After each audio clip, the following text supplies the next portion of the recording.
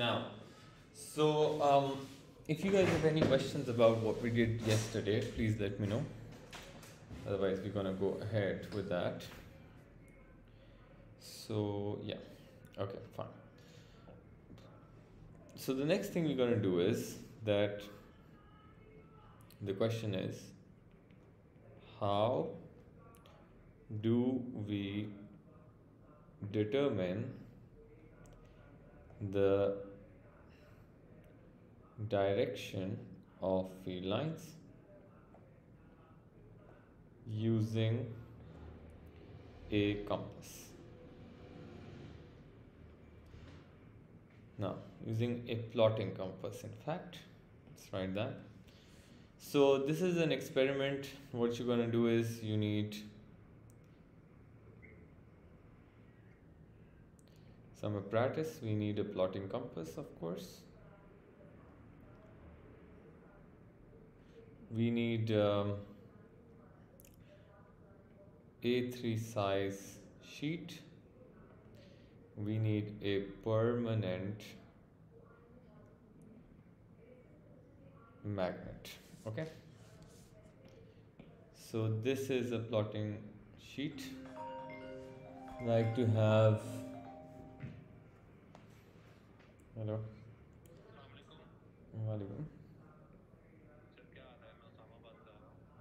Uh, sir, can I call you back in a bit, sir?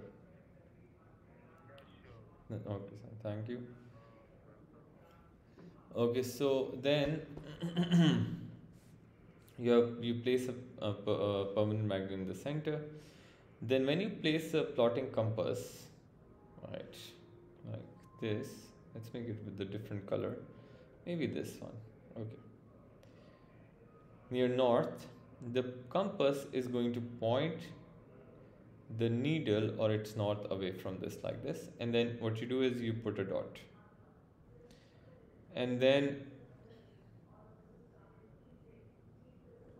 the next one you place the compass exactly on the dot and then you can plot the next dot so you keep on doing that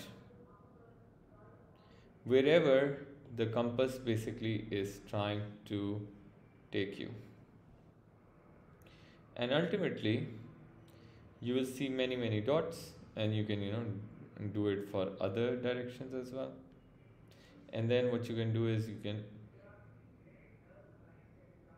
trace the dots, follow the direction of the compass, and it's going to give you the direction of magnetic field. Is it clear, everyone? So, what you're going to do is place a magnet at the center of the sheet. Now,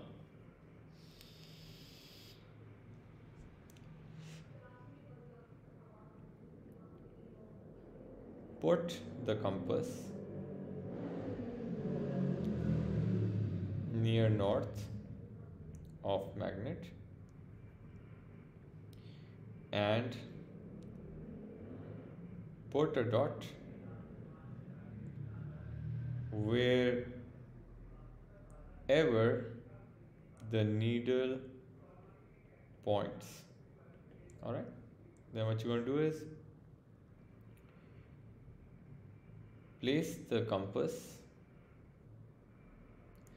on the marked dot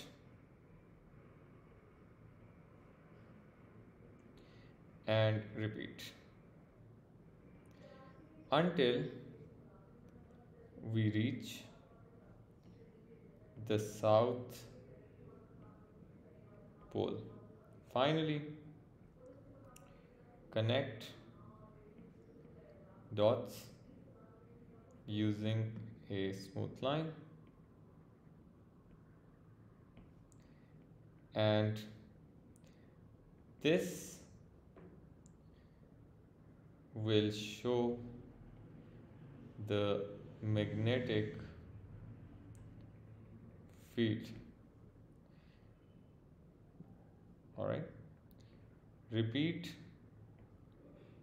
for other lines from different points. Is it clear everyone?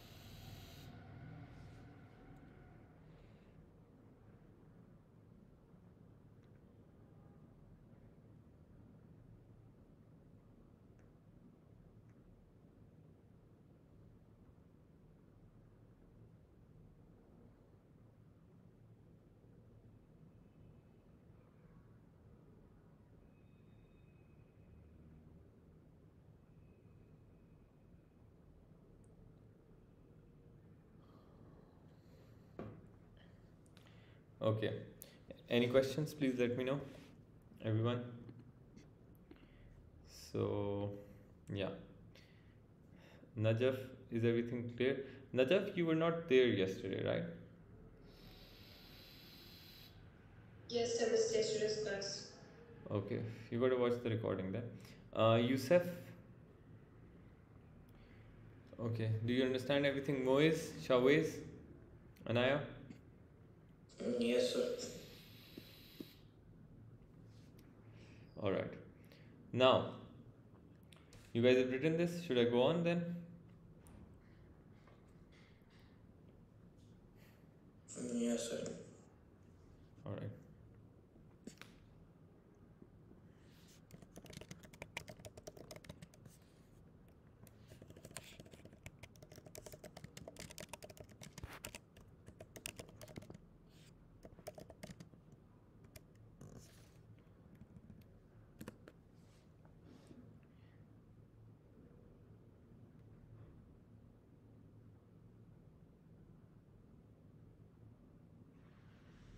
All right. Now, the next question that we need to answer is how magnetic field pattern is shown by iron filings. Iron filings are basically like pieces of small piece of iron. Again, what you're going to do is I'm going to show you a picture of this and then I'm going to explain this to you so that in case the examiner asks you should know.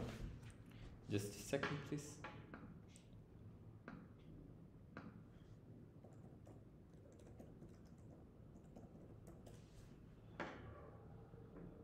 Okay. Like powder iron like that, yeah. Copy. And this looks pretty good. This looks, oh, this is too small for us. Never mind.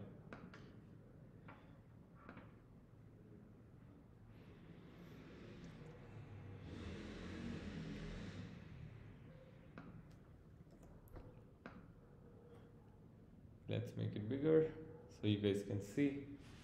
Now, so what you're going to do is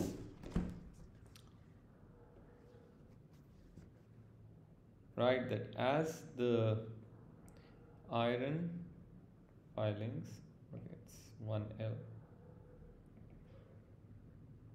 are scattered.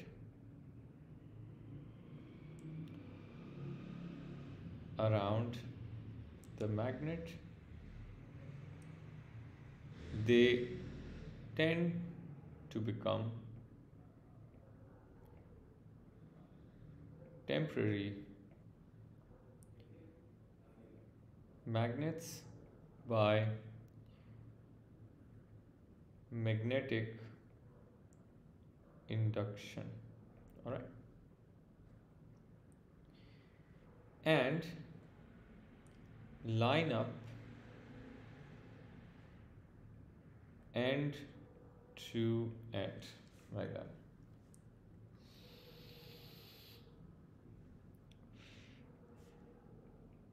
They clamp together around the poles of the magnet.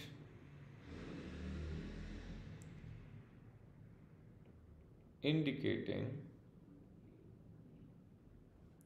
that magnetic field is strongest at that at those points. Oh crap. That's not fair.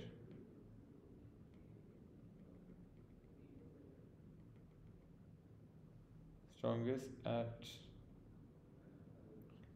those points. As you can see from the diagram itself this region and this region it's the strongest magnetic field whereas this region this color is not even visible that's not cool let's try pink huh? this region and this region it's the weakest magnetic field because the the iron filings are far away from each other is it clear everyone Yes, Yes, sir. sir. Yes, sir. okay cool then you should write it down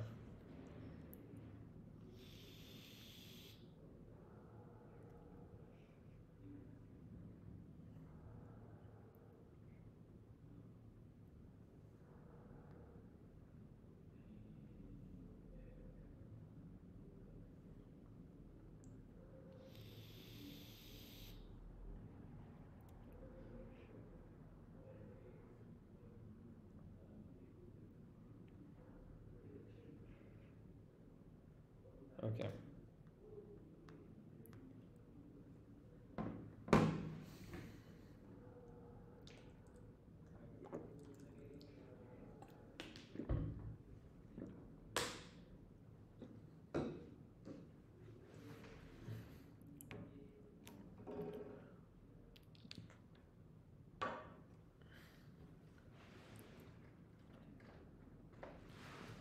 all right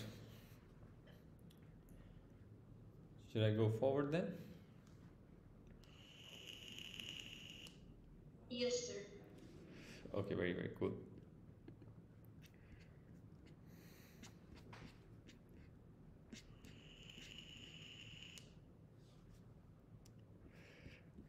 now so uh, then let's talk about something like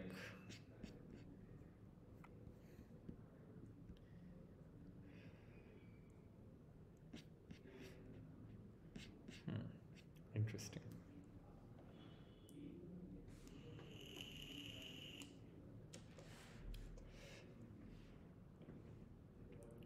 How to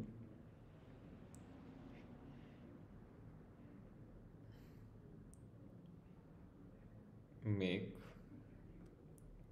an electromagnet okay? In fact let's not talk about this. Let's talk about how are permanent magnets made first. So the first method is called the stroking by a permanent magnet. So what you're going to do is you take a magnet, take a piece, let's suppose a steel bar, and then you got to have a permanent magnet, and then you stroke it like this that it only touches one end by one pole of the magnet, okay? Okay.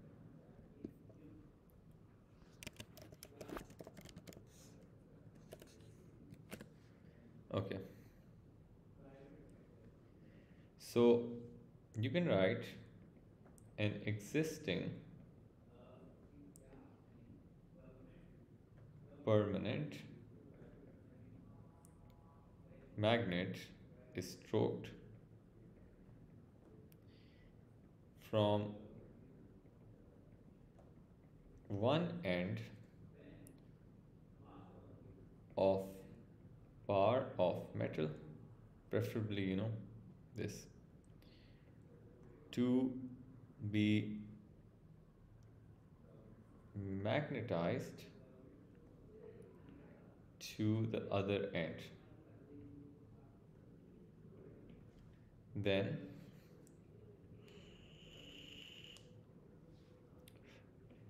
the process is repeated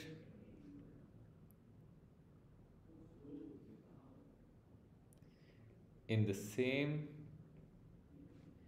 direction avoiding the other pole to touch the metal. After several tries, the metal will gain properties of a permanent magnet. All right like what i'm saying is what you're going to do is you're going to okay you're going to stroke it like this. Do you guys understand? Yes, sir. and keep on doing that for a very long time. Very redundant process it will cause it to become magnetized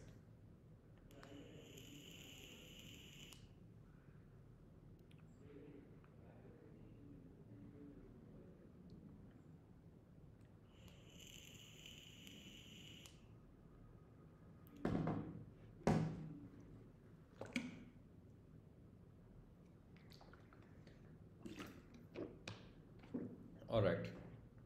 Then if you guys have written i can go forward. Sir, can you wait for a while? Just Yes, yes, minutes? sure sure sure. You can do it. Take your time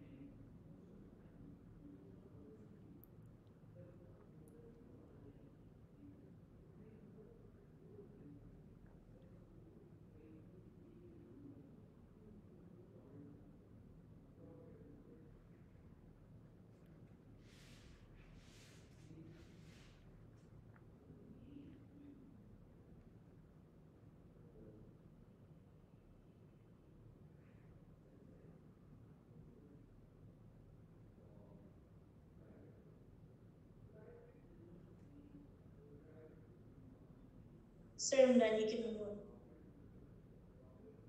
on. Okay, that's great. Alright. So the next method is basically using a solenoid. It's part of an uh, it's called electromagnets. We're creating that. So let's talk about this then. Why are we working offline? Do you guys can hear me, right? Yes, sir. Okay. Now, so what you're gonna do is you're gonna use a solenoid. Solenoid is basically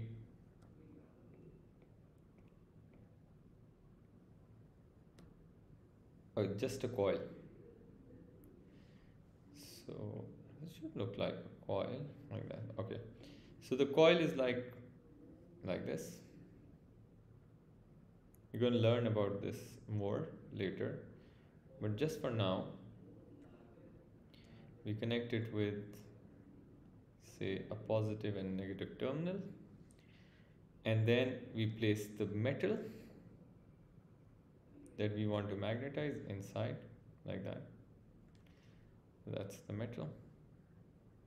That's the solenoid. And then current which goes from positive to negative goes like behind and then comes forward like this. Due to this when the current moves you're going to learn this later on as well the current creates a north pole on this side and a south pole on this side. This has a rule that we follow. We're going to learn that. And eventually for a very after a very short period of time depending on how strong the current is the metal gets this. Okay. Now i want you to just uh, make a switch as well. So this is when the switch is closed. And then we're going to copy this drawing. And then we're going to paste it here. Right. And then when the switch is open. Okay. Tough job for me but I'll do it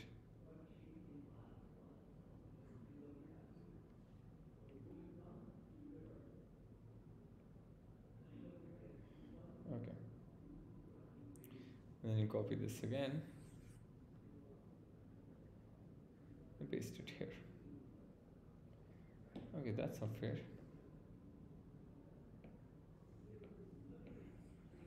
Let's move it right here. Okay. Now now the thing is that when the switch is open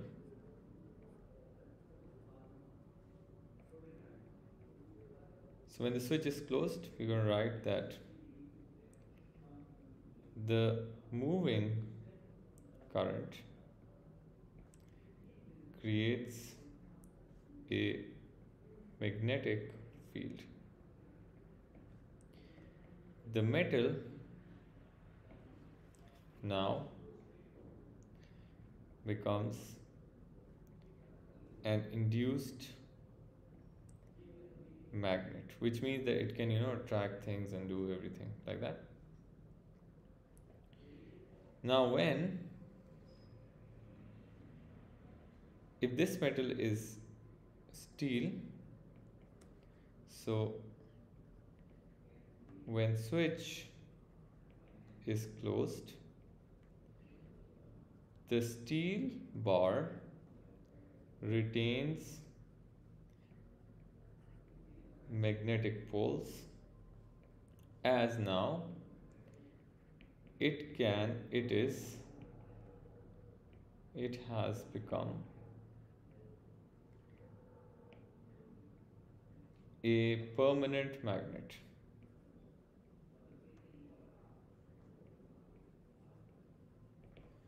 However if the metal is iron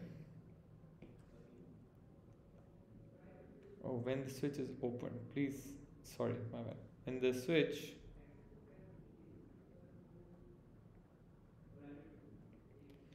is opened. The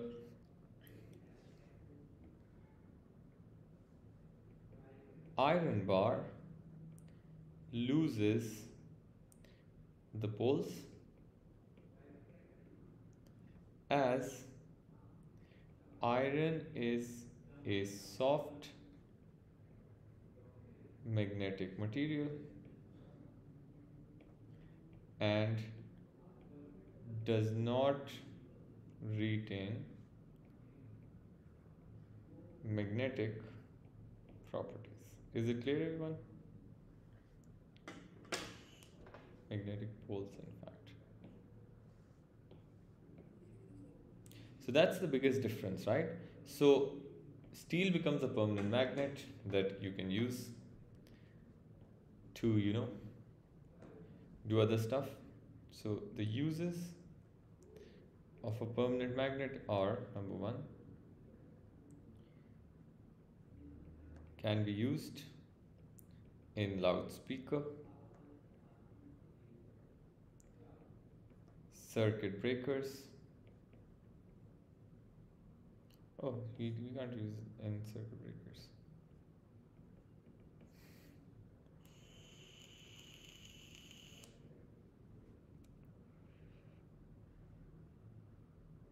In CD or cassette players, etc. Okay. The uses of electromagnet like this are that it can be used in metal junkyards to move scrap from one point to another. Basically, what happens is we can turn on the electricity, we can make it a magnet, we can pull things up, and then wherever we want to, you know, dump it, we stop the current, and it just becomes just normal metal. and It just dumps that. Do you understand this? Yes, sir. in circuit breakers. And there are other examples as well. But the thing is that I just wanted to give you that if they ask you, you can always write this. Is it clear, everybody? Any questions now?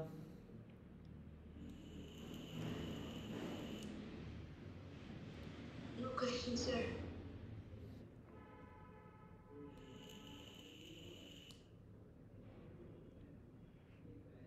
All right.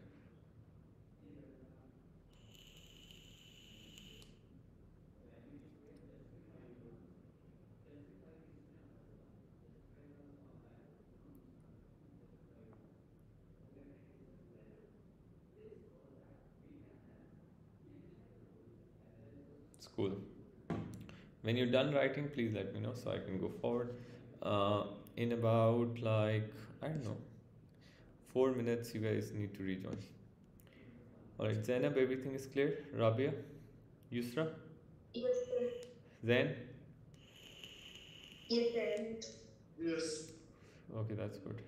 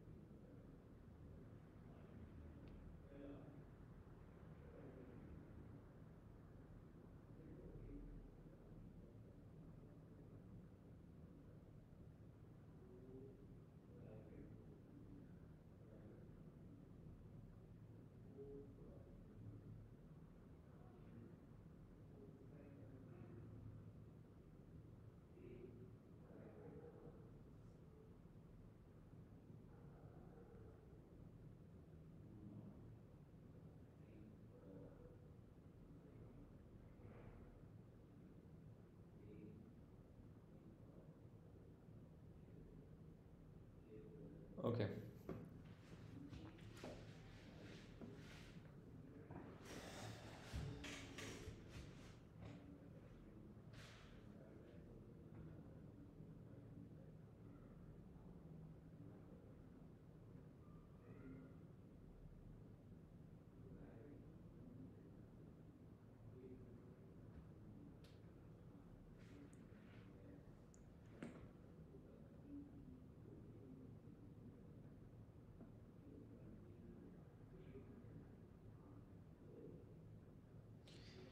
Okay.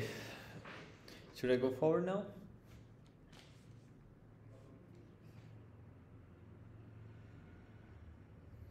Yes, sir.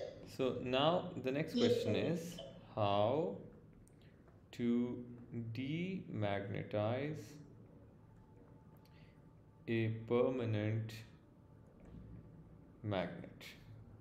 If there's a magnet you want to destroy, what to do. So the first thing you're gonna do is you gotta burn it. Okay. Increasing temperature causes vibrations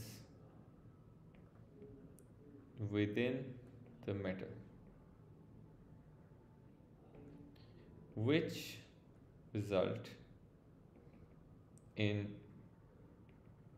disturbance of the magnetic poles. That's how you can do it right? The second thing is you hammer it. You beat it out. So for that hammering increases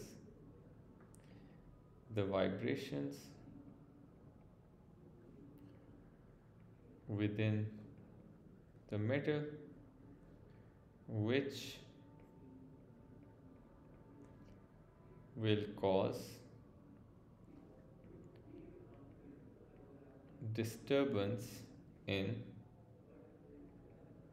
the poles of magnets. So once they're disturbed, then of course you can't use them again.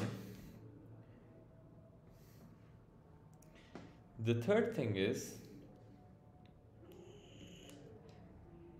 using a solenoid with alternating current. We already done alternating current, so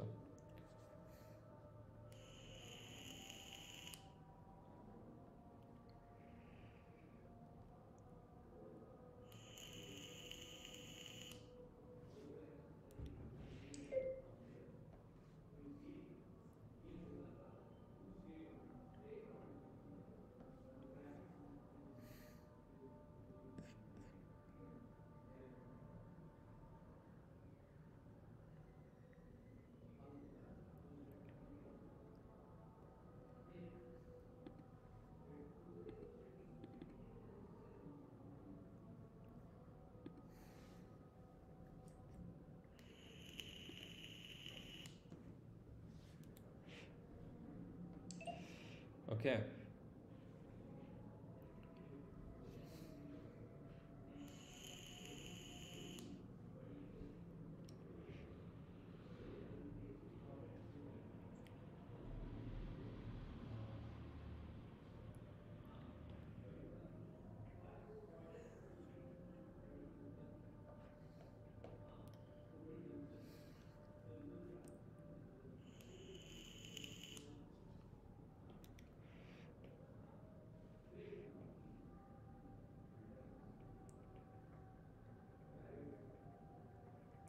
So in this one, we got to use um, AC supply. We place a magnet inside. We give AC supply. So what AC supply does is that in in one like portion of second, it's uh, you know sending current in this way, and on the other like other half, it sends the current in the opposite way because it keeps on changing the direction, right? So AC supply keeps on switching the poles on the permanent magnet.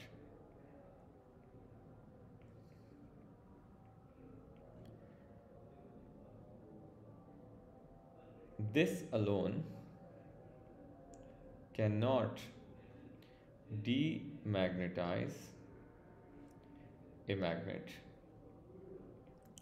But if we slowly pull it out, it will cause a disturbance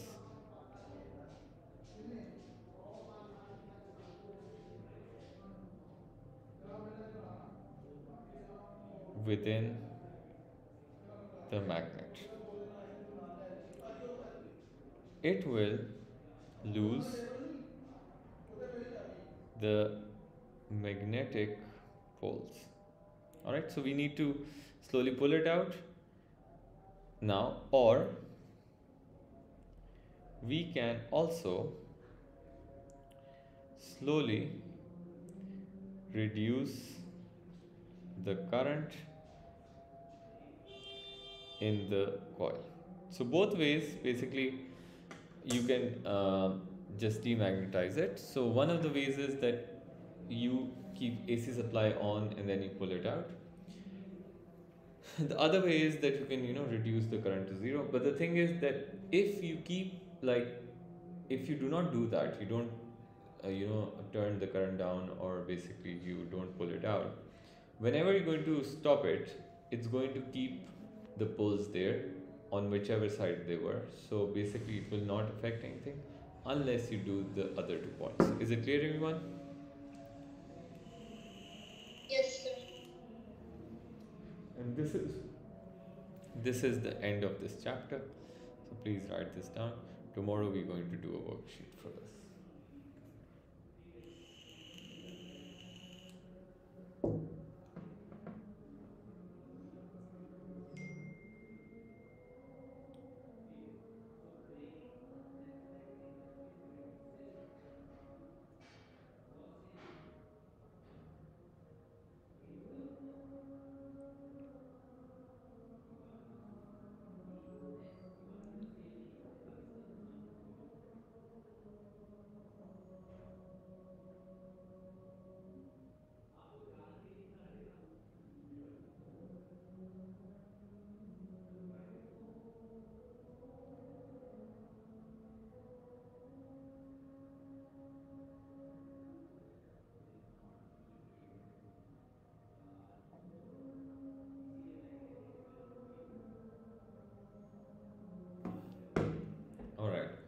I guess I'm gonna see you people in the next class then.